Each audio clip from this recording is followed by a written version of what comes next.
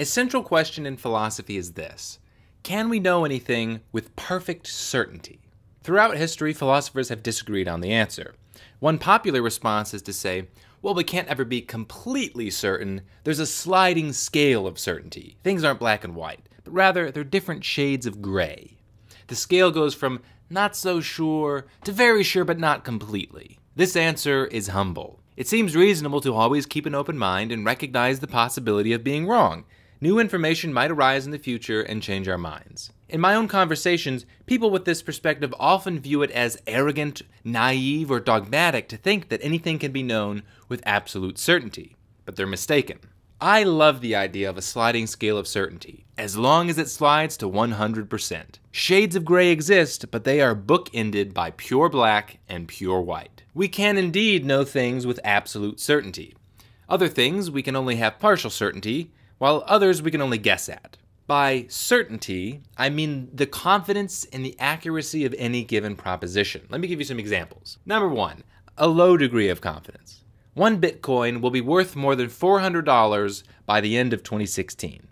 Now, I am sold on Bitcoin technology. I've written a book on the topic, and you can listen to the audiobook for free on YouTube, but it's unclear what the future price will be at any given time. Essentially, this proposition is a hunch. Number two, a modest degree of confidence. Trans fats are bad for human health. Now, I've done some research, and I'm pretty confident in concluding that trans fats are bad for you. However, given the huge amount of knowledge that we don't have about the human body, I wouldn't bet the farm on it. Number three, a high degree of confidence. The sun will rise tomorrow. Now, every single time that I've awoken, the sun has arisen. I have no experience otherwise, nor does anybody else that I've ever spoken with. Now, it doesn't mean that I know with perfect certainty the sun will rise tomorrow. I mean, it could explode this evening, but I'm highly confident that it will rise.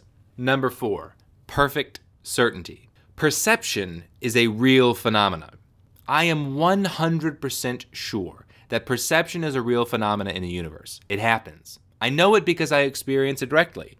I can't know that anybody else experiences perception, nor can I know that my perceptions are accurate. I mean, I might be hallucinating, or I could be a brain in a vat. But regardless of the accuracy of my perceptions, or the cause of them, they happen. Notice this is not a tautological truth. It isn't self evident based on the construction of the sentence. It's not true by definition. It's not empty, nor is it a logical necessity. It could be otherwise.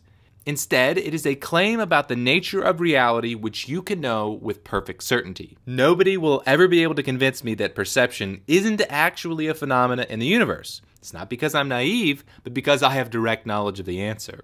You could also rephrase the sentence to say something like, experience is happening. Well, how can I know experience is happening? Well, by being aware of it. If it's there at all, it's happening. Now, if what I've said is true, then the following is also true. Anybody who denies that perception is a real phenomena is wrong, and I know it with 100% certainty. I know that the sentence perception does not happen is false. This example is not isolated. Consider several other propositions. Communication can be attempted. I do not know every fact about reality. Something exists. Perception might be illusory. Language is real. Some claims about reality are false. I doubt some things. 2 plus 2 equals 4.